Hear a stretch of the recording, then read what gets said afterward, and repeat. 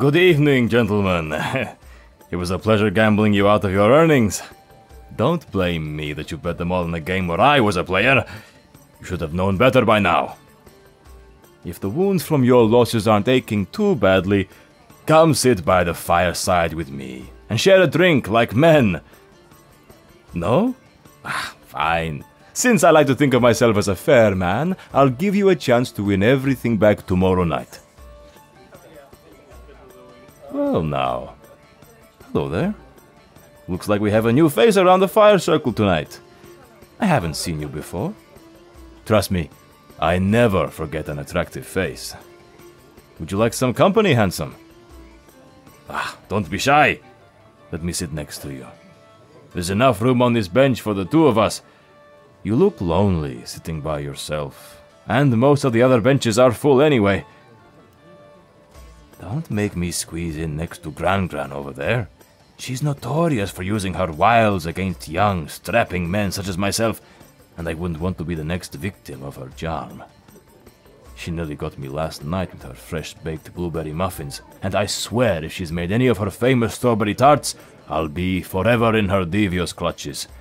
How about saving my life here? Ha! Ah, you're an angel. Truthfully, this is my usual bench anyway, and uh, call me sentimental, it's my favorite vantage of the fire pit and the circle of torches. I can see all my friends this way. I never miss a night sitting around the fire if I can help it with all the towns that we pass through, and all the customers we meet. There's always new stories to share at the end of each day. Let me tell you, there are eccentric people living in every corner of the world, and they always seem determined to come to our stalls and give us heaps of story material every day. Hmm, perhaps you are an eccentric yourself. Why else would you join our caravan? Are you thinking about becoming one of us? Or are you one of those curious runaways looking to sate some fascination with our lifestyle? Quiet one, aren't you? I guess you don't have to answer. It's smart of you either way. Traveling in caravans is so much safer, and becoming one of us means a life of travel, creativity, and freedom. Can't really go wrong. Though, I feel obligated to tell you. With a face as fine as yours, you really could make a great addition to any of our stores. Just a simple fact. The prettier the salesperson, the more likely customers are to buy. Hell, they're more likely to get people to stop in the first place. How do you think I've amassed all of my current wealth? Huh. Gambling? Oh, Oh, you overheard that, did you? I'm hurt that the first words you speak to me are so harsh. Not quite so shy and quiet when there's something you want to call out about someone, hmm? Saucy. I like it. But no, I do make an honest living outside of the occasional game with my fellows. All I have to do is flash these pearly whites, cock an eyebrow, and let my dimples speak for themselves. The coins just fall out of the ladies' pockets. Some men's too. It's all fair to me. It would be a sin not to utilize these good looks for the sake of survival when it's a proven strategy. What's this? Don't tell me you're curious. Well, why don't you have a guess at what I do? If you get it right, I'll give you a demonstration of how it's done. But if you get it wrong, hmm, you have to tell me your name and where you're going. Come on, Angel. If you're running from something, it's not like I'll go turning you in. And if you're looking to join up and become a wayfarer, you'll have to tell us your name eventually, even if it's an alias. Do you agree? Excellent. So, hit me. What do you think I do for a living? Damn, that's a piercing stare. Not looking to expose my soul, I hope. Oh, looking at my clothes. Okay. I don't know if they'll tell you anything, but have it your own way. I'll never deny anyone a chance to admire such a beacon of manliness. Oh, sure, sure, studying, not admiring. Just keeping telling yourself that, Angel. As if those pink cheeks could fool a world wise fellow like me. Take all the time to study that you need.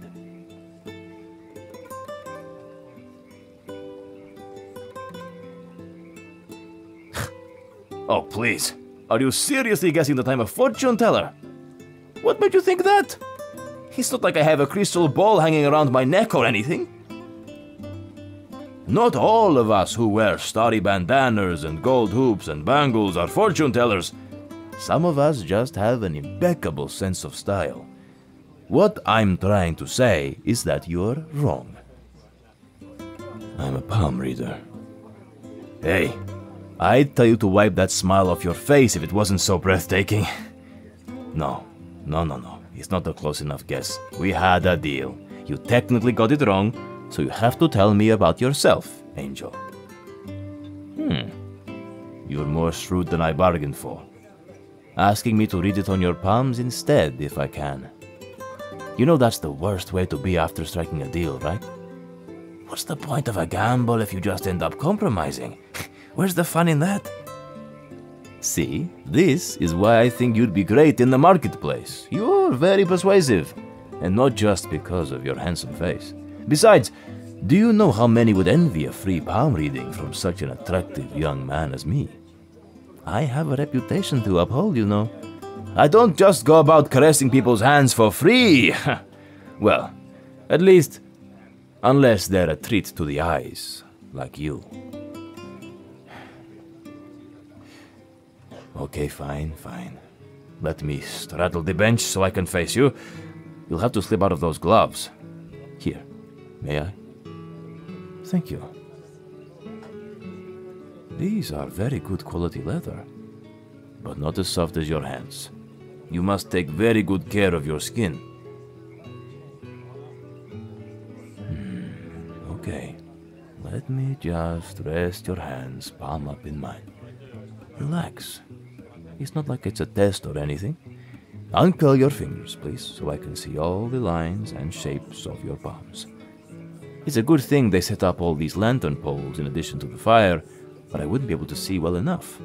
But even without sufficient light, I can tell that your hands are compassionate hands. They work for others more than yourself. If I trace this line here, ah, ah, ah, don't flinch. Sensitive, aren't you? Try to keep your hands relaxed and your fingers outstretched. I might stroke over different areas of your palms while I read them. This line indicates that you have a caring heart. And this one, see? It tells me that you are very productive. Hmm. You need your space after a certain amount of time with people, but you still spend most of your days helping others. And while you're sweet natured, you aren't a pushover. You have an industriousness about you. It's difficult for you to keep your hands still for any length of time. You enjoy being busy. You also have an innate talent for what you do. I have it. Looking at all of these together, I can see it clearly. You really are an angel. Or the next best thing to one. You are a healer. You've probably been out from under your master's teaching for a few years, uh, long enough to gain confidence in your own abilities, but still new enough to be constantly searching for new information. You make your own salves and remedies to save on costs, and you even travel for the ingredients yourself. That's why you're here. You're going after some rare herb or other that's probably only found in a country other than your own. Clever move to travel yourself instead of paying the import fees. I'm impressed. Not all healers are their own apothecaries as well. That's where your natural talent must come in. You have an adeptness for healing in all forms, I'd say. what?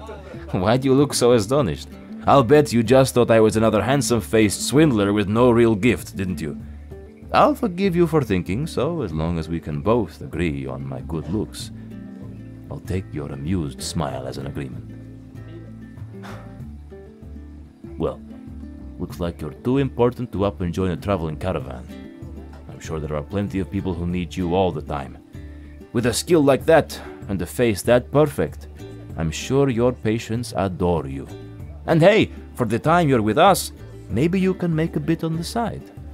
If you'd like to set up a little healer stall with us during the day.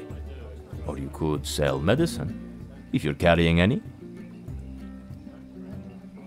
My goodness. I didn't see that bag on the other side of the bench. It's huge. What all are you carrying with you? A bit of everything? Just on the off chance someone gets hurt and needs you? I told you, palms never lie. You're compassionate and care about helping others. While I admire those qualities, I'm telling you, you could make at least traveling expenses if you joined us in the marketplace every day. We could borrow a tent for your stall, and you could set up right next to mine. Need to sleep on it? Eh, fair enough. But where were you even planning to sleep tonight? It doesn't seem like you thought this through very well, Angel. In fact, it appears that this entire trip of yours was fairly rushed. There was some urgency, wasn't there? Maybe a patient who needs whatever remedy you're traveling for? They must need it very badly to make you rush out without even planning your next steps. Seems selfless and foolish at the same time. No wonder you were this far out on the road at this time of night. Good call, though, wandering into our campfire circle. Hey, we always welcome visitors. I'd offer you a drink, but I feel like you're the type who wants to keep their head clear when they can help it. No, no, I didn't get that from your palms. I can just make a few logical guesses. Healer, apothecary, responsible, non drinker, it all fits together. I was about to pour myself a drink from one of the ale barrels, but I think finding you accommodations is my top priority now. Ah, we can't have you sleeping outside on the grass. What kind of monsters would people take us for if we did that? No. How about you stay with me? I have my own cart thanks to the profit margin these dimples and this blessed jawline have given me. There's plenty of space for two. And let me tell you, many people would love to be offered a night's sleep with me. All right, I'm joking, I'm joking. No need to go reaching for your sharpest apothecary instrument. I am nothing more than a hopeless flirt. Truly, though, I promise your virtue will remain intact. If you can resist this face for the span of this entire conversation, I have no doubt you'll resist any temptation, even sleeping a few feet apart. Listen, I even have a makeshift curtain I can hang down the middle of the cart's roof, so you'd have your own space without even having to see me. Though I don't know why you wouldn't want to. I can understand giving you your privacy. It's the least I can do for such a handsome face. And also, I honestly do think that you'd be a useful addition to the caravan. For however long you need to travel with us. Accidents occasionally happen. Or people can fall ill, and having a healer on hand would be a great asset.